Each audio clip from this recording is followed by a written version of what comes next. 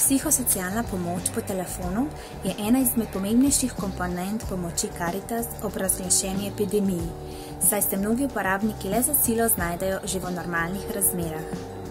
Epidemija, še posebej za tiste, ki imajo večje ali manjše težave v duševnem zdravju, predstavlja hudo stisko.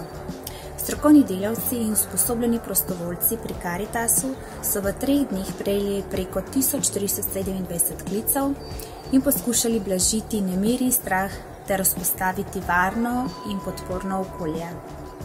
V posebni akciji smo mladi prostovoljci Young Caritas vzpostavili projekt, v katerem preko telefona nudimo družabništvo osamljenim starejšim. Vabimo te, da se našemu projektu povezani preko telefona pridružiš in tako nameniš nekaj svojega prostega časa telefonskemu klepetu s starejšimi.